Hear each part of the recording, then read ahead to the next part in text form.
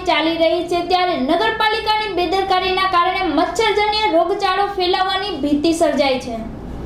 બરવાડા નગરપાલિકાની બેદરકારી આવી છે સામે. તો બરવાડાના મહાવીર જીન પાછલા બરવાડા વાસમાં હાલ ગંદકીના થર અને ઉભરાતી ગટરો જોવા મળી રહી છે.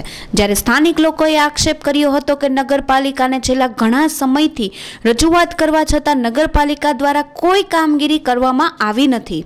સ્ટ્રીટ લાઇટ, ગટર લાઇન, સફાઈ, વરસાદી પાણી નિકાલ જેવા કોઈ કામગીરી નગરપાલિકા દ્વારા કરવામાં આવી નથી, એમ સ્થાનિક લોકોએ જણાવ્યું હતું.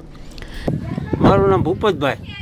આ કયો વિસ્તાર ને આ કયું ગામ ભરવાડા ગામ છે અને મહાવીરજીની પાછળ. ભરવાડ નવાસ છે.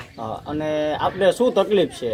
આપણે અહીં ગટરની ફૂલ તકલીફ છે ગટર બહુ ઉભરાય છે અમે દસક વખત ગયા મ્યુનિસિપાલિટીમાં પણ કોઈએ સાહેબ આવીને જોઈ જાય ને વિયા જાય છે પણ કોઈએ કાંઈ એનો નિકાલ કર્યો નથી અત્યાર સુધીમાં.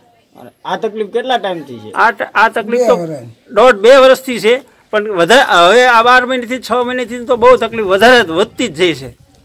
અને નગરપાલિકા દ્વારા આ બાબતે કોઈ કેટલી કાર્યવાહી આ કરવામાં કાર્યવાહી કરવામાં આવે ત્યારે એકવાર બંબો લઈને આવ્યા હતા પણ એનેથી કઈ થયું નહીં. અને એ કે કાલ અમે જીસીબી લઈને આવશું ને ફલાણું લઈને આવશું ને માણસો નથી ને જીસીબીના ડ્રાઈવરો નથી એવું બધું કહે ને વિયા જાય છે.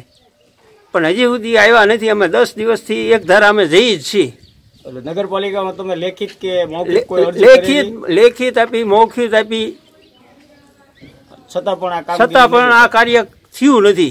અને હું રહું છું ભાડાના મકાનમાં રાઘવભાઈ ભીખાભાઈના મકાનમાં. હું છું દલવાડી.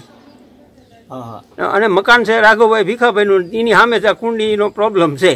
જગદીશ મારું જય સૌરાષ્ટ્ર ન્યૂઝ નેટવર્ક બોટાદ.